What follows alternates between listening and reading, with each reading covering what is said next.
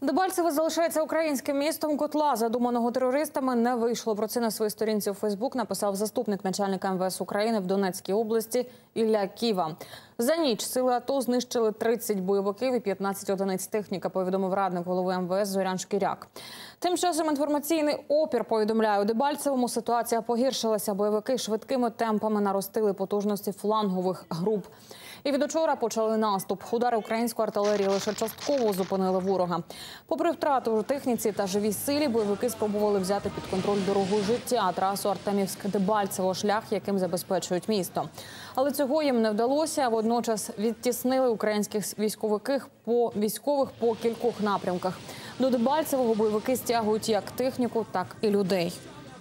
Цієї ночі противник активізувався і на Маріупольському напрямку. З градів обстріляли селище Мирне та Новоселівка. В той же час вже традиційно найгарячішою точкою на сході України залишається місто Дебальцево та навколишні населені пункти. За ніч противник практично зі всіх видів зброї 18 разів вів вогонь по цьому напрямку. Найбільше постраждали Новогригорівка та Попасне. Саме ж місто Дебальцево вже стало своєрідним символом героїчного протистояння.